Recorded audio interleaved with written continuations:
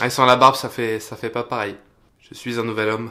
Bonjour à toutes et à tous, bienvenue euh, pour cette nouvelle vidéo. Aujourd'hui, on va parler euh, de l'appareil photo qui me permet euh, de filmer mes vidéos sur YouTube. J'ai décidé d'en parler dans cette vidéo parce que j'ai reçu pas mal de questions de gens qui se disaient tiens avec quoi tu filmes? Des gens un peu curieux ou simplement des petits youtubeurs en herbe un peu comme moi voilà qui veulent essayer d'offrir une qualité d'image un peu meilleure à leurs abonnés. Donc voilà tout simplement dans cette vidéo je vais vous parler de ma caméra Panasonic Lumix G9. C'est parti. Alors vous vous en doutez, là ma caméra est en train déjà de me filmer, donc ça va être difficile de vous la montrer. Vous inquiétez pas, je vais faire des plans pour illustrer mes propos. Et au passage, beaucoup de gens aussi m'ont demandé euh, quelle optique j'utilisais, et c'est une optique Samyang Fisheye 7,5 mm en monture micro 4 tiers. Je mettrai un lien en description euh, pour pourquoi pas vous offrir cette optique qui coûte en plus pas très cher. Elle est aux alentours des 200 euros donc euh, ça reste quand même assez abordable une optique. On commence directement. Pourquoi je vous conseille cet appareil photo et cette caméra? Alors tout simplement si vous en avez besoin. En effet, si vous êtes un amateur semi-pro, elle peut très clairement répondre aux besoins que vous allez avoir. Si vous faites également des voyages, un peu voyages extrêmes, elle peut là aussi avoir un intérêt puisque c'est un boîtier qu'on appelle tropicalisé. Alors c'est pas comme le Tropico qu'on boit. Tropicalisé, ça veut tout simplement dire que le constructeur certifie que l'appareil résiste aux poussières, aux petites impuretés qui pourraient rentrer et à l'humidité extrême. Autant vous dire que ça peut être le compagnon idéal si vous partez en safari, en bord de mer ou dans des zones très humides type euh, climat tropical. Bref, vous l'aurez compris, c'est une caméra qu'on peut emmener un petit peu partout. Je conseille également cette caméra pour tous ceux, bah forcément comme je l'ai dit en introduction, qui font des vidéos YouTube et pour ceux qui font de la production vidéo, alors pas forcément professionnel, mais en tout cas amateur confirmé. Je recommande également cette caméra, cet appareil photo car comme je l'ai dit, c'est une sorte de lapsus, cet appareil est très polyvalent. Cet appareil est aussi bon en photographie qu'en vidéo, et ça il faut le dire c'est assez rare. Assez rare en tout cas pour être souligné. Chez Panasonic, il existe aussi un autre modèle que le G9 qui s'appelle, et qui est vachement plus connu, le Lumix GH5 qui est lui un véritable foudre de guerre en termes de vidéo. D'ailleurs, très clairement, certains professionnels l'utilisent au quotidien. Mais d'une certaine façon, il pêche un peu du côté photographie, tout simplement en termes de qualité d'image, mais aussi également en prise en main, car vous comprendrez plus tard dans la vidéo que cet appareil a des atouts particuliers, des fonctionnalités particulières. Autre argument qui fait euh, que vous devriez peut-être prendre cet appareil photo, cette caméra, tout simplement pour son look. Alors ça peut paraître un peu bête de dire qu'il a un vrai look d'appareil photo, mais il faut dire que ça joue énormément.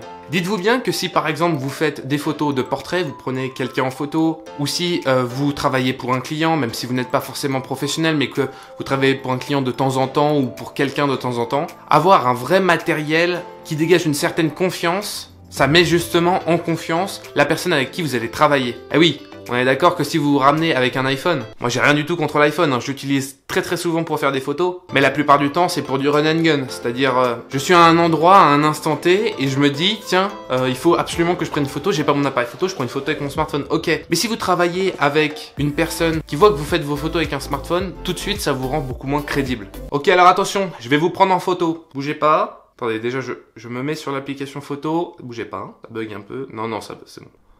Ok, ok, Ouais. Mhm. Pas mal. Nickel.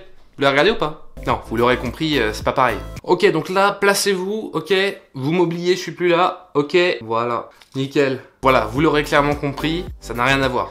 Donc on est d'accord, parfois le look c'est pour frimer, mais là ça vous rend encore plus crédible. Donc c'est sympa. Donc c'est un critère de choix. On va parler également du côté évolutif de cet appareil photo, car c'est un appareil photo avec une monture micro 4 tiers. C'est-à-dire tout simplement que sur cet appareil photo, vous allez pouvoir monter des optiques, que ce soit des optiques Panasonic, des optiques Olympus ou même des optiques Leica, bien évidemment compatibles avec la monture micro 4 tiers. Mais ça vous donne une très très large gamme d'optiques que vous pourrez utiliser sur cet appareil photo, en passant du fisheye comme actuellement, au grand angle, la longue focale, des optiques qui vous donneront du bokeh, ce, ce flou d'arrière-plan. Bref, voilà, vous l'aurez compris, j'aime bien donner cette expression, c'est un couteau suisse cet appareil photo. Vous allez pouvoir faire ce que vous voulez, laisser aller votre créativité. Et le dernier argument qui fait que je vous conseille cette caméra, cet appareil photo, c'est tout simplement l'intégralité des fonctionnalités de cet appareil. En effet, vous allez pouvoir filmer en 4K 60 fps, Vous allez pouvoir filmer à des fréquences d'image encore supérieures si vous décidez de filmer en 1080p, en Full HD. Cet appareil photo est équipé d'un écran tactile, orientable, idéal, voilà, comme je le fais actuellement pour se filmer soi-même et avoir un retour d'image pour les youtubeurs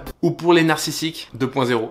Cet appareil photo a également un viseur, ce qui est idéal aujourd'hui et presque indispensable. N'imaginez absolument pas faire des photos à contre-jour sans avoir un bon viseur, large et confortable. Ça c'est vraiment nickel, une très bonne fonctionnalité. Pour encore une fois, tous ceux qui font de la vidéo, il y a une prise casque, une prise micro, une prise télécommande, il y a deux ports SD. Vous allez pouvoir mettre une carte SD où vous redirigerez directement vos photos dessus et une autre carte SD qui stockera par exemple vos vidéos. Vous allez pouvoir vous organiser de manière assez sereine. En tout cas, très clairement, cet appareil photo est à la fois destiné aux amateurs avancés presque semi-pro, mais également à ceux qui débutent.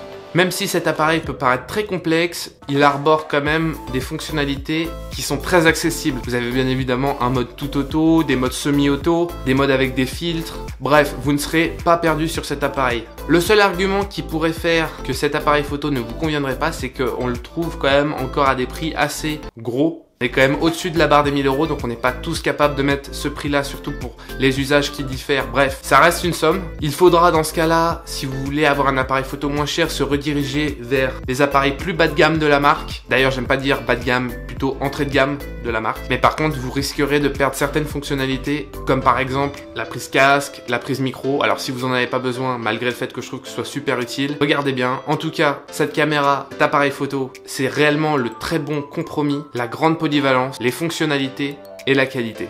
Voilà, on arrive déjà à la fin de cette vidéo, j'espère qu'elle vous a plu. N'hésitez pas si vous avez des questions sur cette vidéo ou sur le produit à me les laisser directement en commentaire, j'y répondrai avec grand plaisir. N'hésitez pas également à vous abonner à la chaîne, à laisser un petit pouce bleu, à me rejoindre sur Instagram, mais également me rejoindre sur le site d'information Apple News France. C'est un site sur lequel je rédige des articles en rapport avec l'actualité d'Apple et ce qui tourne autour. Donc voilà, n'hésitez pas à me rejoindre également sur ce site internet Apple News France, le lien en barre d'infos. Il me reste plus qu'à vous remercier d'avoir regardé cette vidéo et on se retrouve très bientôt pour une nouvelle vidéo. Allez, portez-vous bien, salut